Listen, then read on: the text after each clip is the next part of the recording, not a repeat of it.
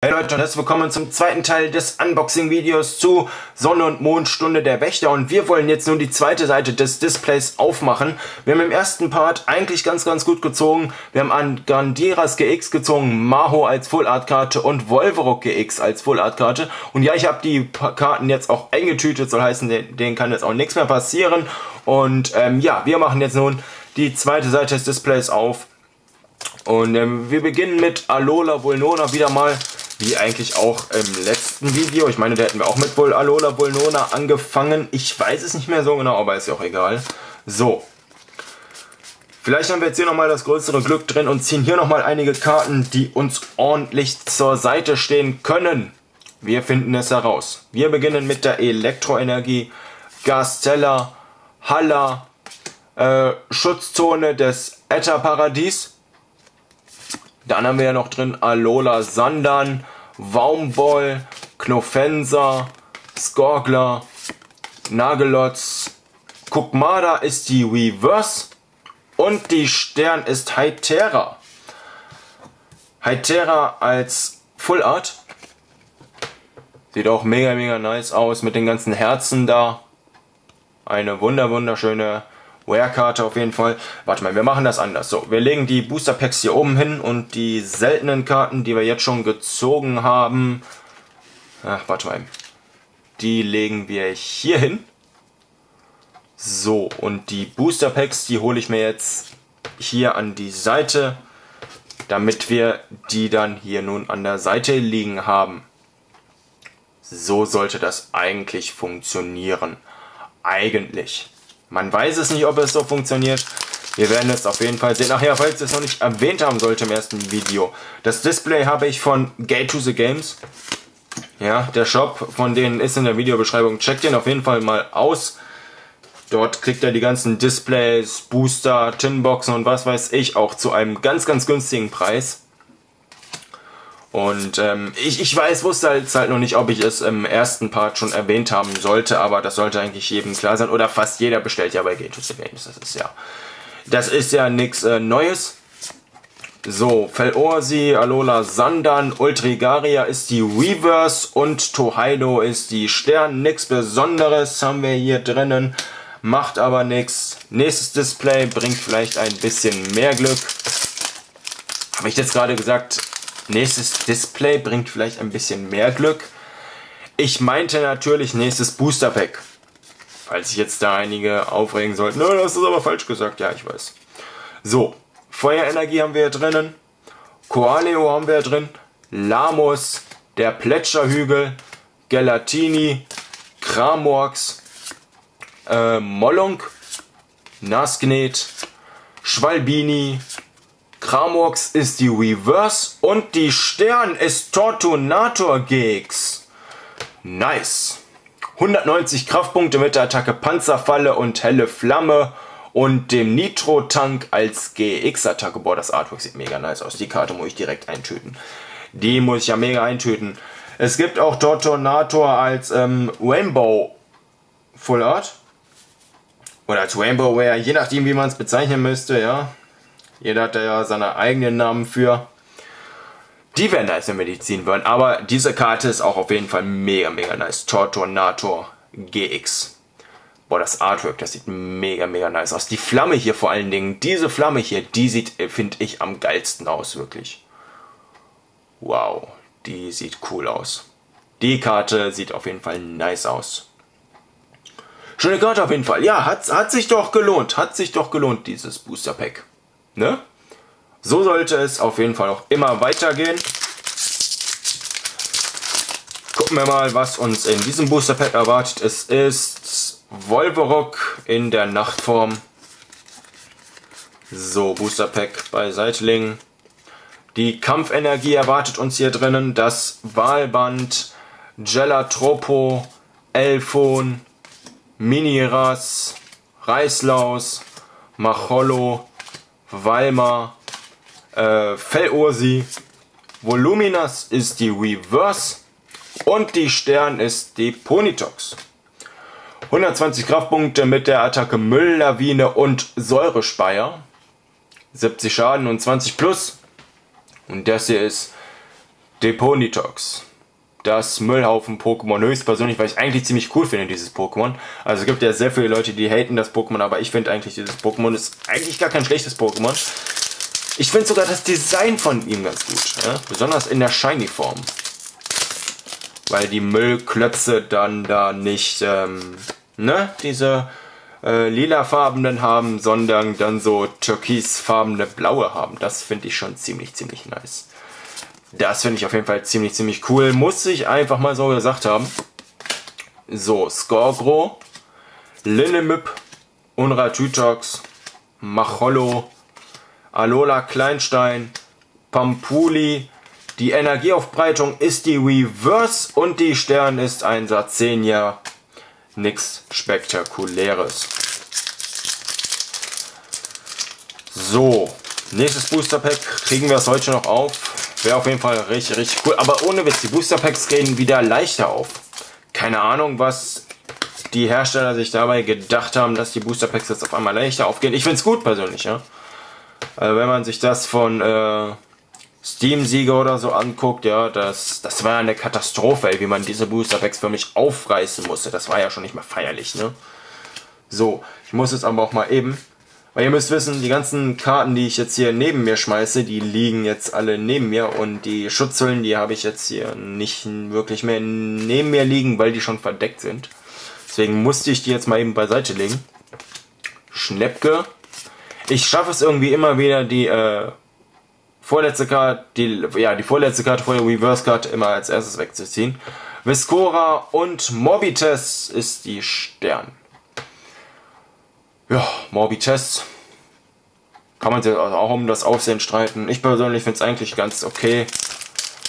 Aber es geht ja hier nicht nach Aussehen, ne? Es geht ja hier darum, dass wir gute, seltene Karten ziehen.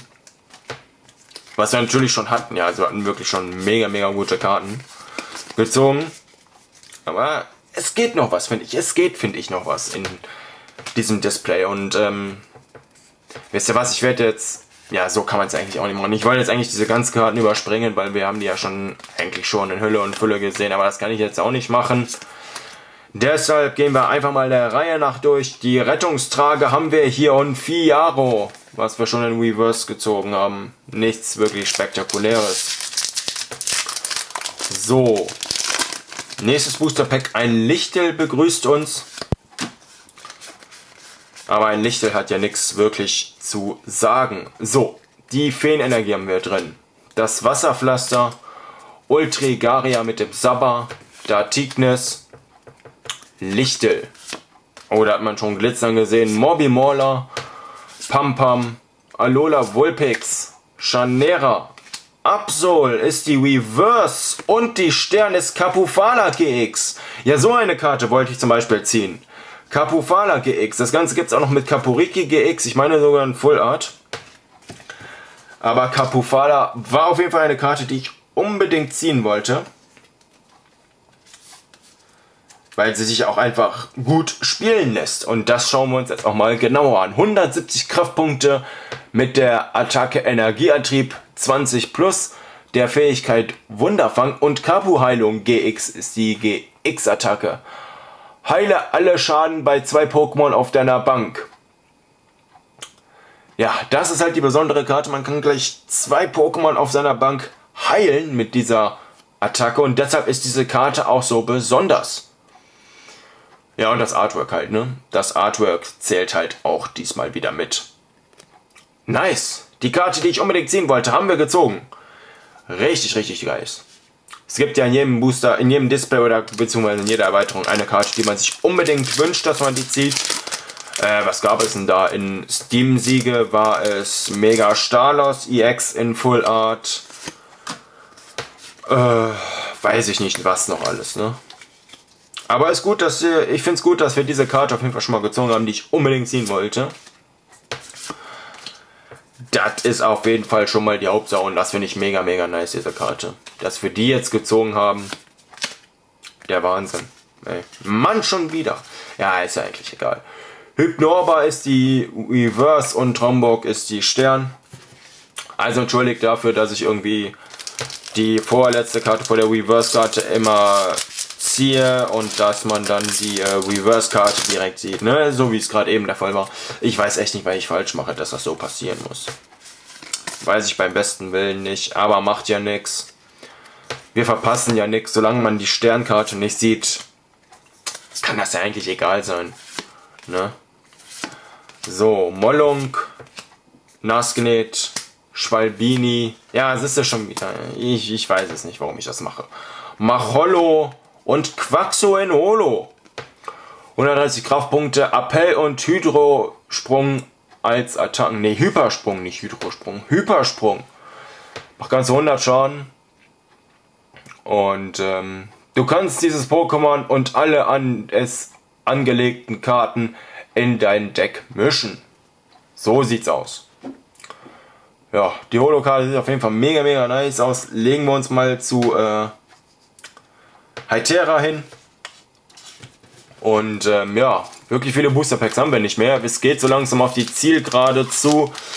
Ich werde die Booster Packs jetzt noch mal ein bisschen durchmischen hier, damit hier mal ein bisschen Schwung in die Bude kommt. Na, weißt du was, dieses Kaporiki machen wir wieder zum Schluss auf. So, damit jetzt hier auch mal ein bisschen Schwung in die Hütte kommt, mischen wir das Ganze mal wie bei Memory. Nur, dass wir hier keine doppelten Karten aufdecken, sondern... Ja, eigentlich decken wir ja schon doppelte Karten, auch wenn man es so sieht, ne? Eigentlich ist das ja so. Aber auch nur eigentlich, ne? So, Kampfenergie, Sonnenkreispodium, Metang, Mediras, Lichtel, Pampam, Schnepke, Formeo, Gelatini, Datignis ist die Reverse und die Stern ist wieder mal ein Gelatino. Also Gelatino haben wir, glaube ich, heute schon mehrmals gezogen als in Generations, wenn wir so einen Nocturne gezogen haben. So kommt es mir zumindest vor. Ja. So kommt es mir auf jeden Fall vor, dass das auf jeden Fall so gewesen sein muss. Stahlenergie haben wir jetzt hier drin. Boah, ich muss mich mal anders hinsetzen, ey. Das ist ja der Wahnsinn, ey. Ich stütze mich nämlich mit meinem linken Arm die ganze Zeit hier so ab und das kann so langsam auf die Gesundheit gehen. Mediras, Energielotterie, Weimar, Felorsi, Paragoni, Iguana, Tanhel. Tanhel ist auch einmal die Reverse und die Stern ist Pandrago, was wir auch schon in Holo gezogen haben. Ich meine zumindest, wir hätten das auf jeden Fall schon mal in Holo gezogen. Ja, das ist auf jeden Fall unsere seltene Karte. Ein Pandrago, was man eigentlich oft genug ziehen kann. Ja. Ich will gar nicht wissen, wie viele Karten wir davon jetzt schon gezogen haben. Aber macht ja nichts, ne?